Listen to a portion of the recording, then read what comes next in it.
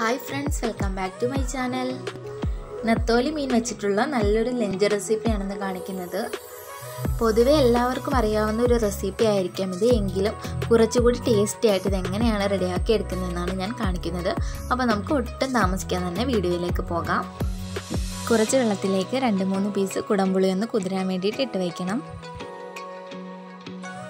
ഒരു തേങ്ങ ഫുള്ളായിട്ട് ചിരകി എടുത്തിട്ടുണ്ട്. ഇതുകൂടി നമുക്കൊരു മിക്സിയുടെ ജാറിലേക്ക് ഇട്ട് കൊടുക്കാം.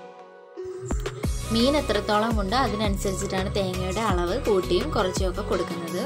പത്ത് പതിനഞ്ച് ചുവന്നുള്ളി എടുത്തിട്ടുണ്ട്. ഇത് കൂടി ചേർത്ത് കൊടുക്കാം. അപ്പോൾ ചുവന്നുള്ളിയുടെ അളവ് എത്രത്തോളം കൂടുന്നോ അതിനനുസരിച്ചിട്ട് നല്ലൊരു ടേസ്റ്റ് തന്നെ കറിക്ക് ഉണ്ടാവും ഇനി ഒരു ചെറിയ കഷ്ണം ഇഞ്ചിയും അതുപോലെ തന്നെ അഞ്ചാറ് വെളുത്തുള്ളിയും കൂടി ചേർത്ത് കൊടുക്കണം.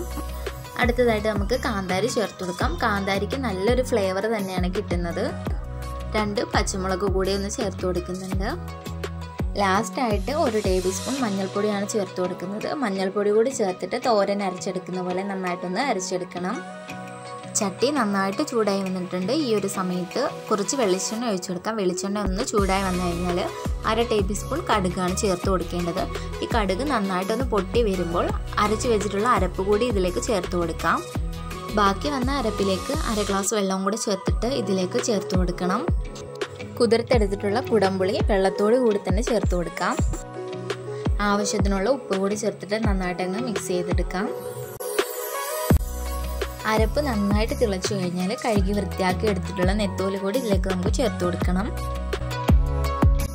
മീനിലേക്ക് അരപ്പ് പിടിക്കാൻ വേണ്ടിയിട്ട് ജസ്റ്റ് ഒന്ന് മിക്സ് ചെയ്തെടുത്ത ശേഷം ഇതിലേക്ക് കാൽ ടേബിൾ സ്പൂൺ അളവിൽ ഉലുവപ്പൊടി ഒന്ന് ചേർത്ത് കൊടുക്കാം. അപ്പോൾ ഈ ഒരു സമയത്ത് ഉലുവപ്പൊടി ചേർക്കുകയാണെങ്കിൽ നല്ലൊരു ഫ്ലേവർ ആയിരിക്കും. കുറച്ച് കറിവേപ്പില കൂടി ഇട്ട് കഴിഞ്ഞാൽ വളരെ ടേസ്റ്റി ആയിട്ടുള്ള മീൻ പീര വറ്റിച്ചത് റെഡിയായി കഴിഞ്ഞു. എല്ലാവരും ഒന്ന് ട്രൈ ചെയ്ത് നോക്കുക ഒപ്പം തന്നെ വീഡിയോസ് ഒക്കെ ഇഷ്ടമാവുകയാണെങ്കിൽ എന്റെ ചാനൽ സബ്സ്ക്രൈബ് ചെയ്യാനും ലൈക്ക് ചെയ്യാനും ഒപ്പം തന്നെ അടുത്തായിട്ട് വരുന്ന ബെല്ലൈക്കാണിൽ പ്രസ് ചെയ്യാനും മറക്കരുത്. അപ്പോൾ അടുത്ത ഒരു വീഡിയോ ആയിട്ട് വരുന്നവരേക്ക് ബൈ ബൈ